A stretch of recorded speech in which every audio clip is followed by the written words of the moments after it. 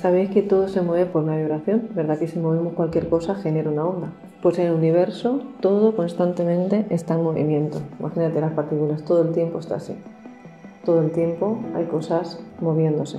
Por eso todo el mundo habla de, energía, de Nikola Tesla yo decía, ¿no? para entender el universo, la energía, la electricidad, todo lo que tenga que ver con, con la luz.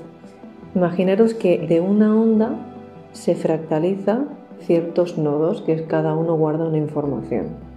Claro, nosotros tenemos entendido que para que haya un orden le damos unas palabras, pero incluso la palabra tiene un orden alfabético, ¿Mm? tiene un abecedario. Si os fijáis, da igual lo que formuléis, todo obedece un patrón, siempre. Conforme vamos descendiendo, hay densidades frecuenciales, que eso lo podríamos también poner como todos los servidores que hay en Internet, todos los canales de telefonía, ¿no? Hay un millones de redes y si lo pudiésemos simplificar más, estarían los números personales de cada uno, ¿no? Cambiamos un número y marcamos a una persona. Pues pasa exactamente lo mismo cuando son frecuencias. El universo solo se mueve por patrones de velocidad y cada uno tiene un entendimiento.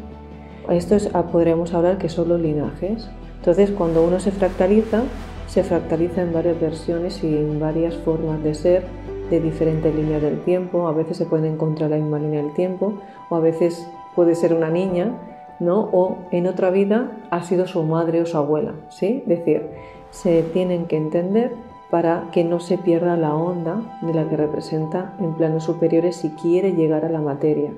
O le podríamos decir si lo quiere simplificar o lo quiere ralentizar porque todo obedece un patrón, pero cuando lo cortas tiene un patrón de la base anterior y así sucesivamente. Pero conforme va adentrándose a otras frecuencias, se va fusionando con uno, con otro, con otro.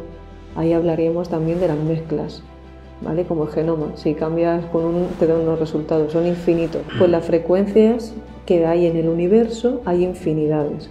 Por eso hay planetas, por eso hay estrellas y por eso hay razas que son extraterrestres, porque todo se va fragmentando y va teniendo vida. Nuestro cuerpo, por ejemplo, es un conjunto de células, es una vida completa, porque cada una se conecta con una, pero ¿verdad? Si quisiéramos entender el universo, tendremos que entender nuestro cuerpo.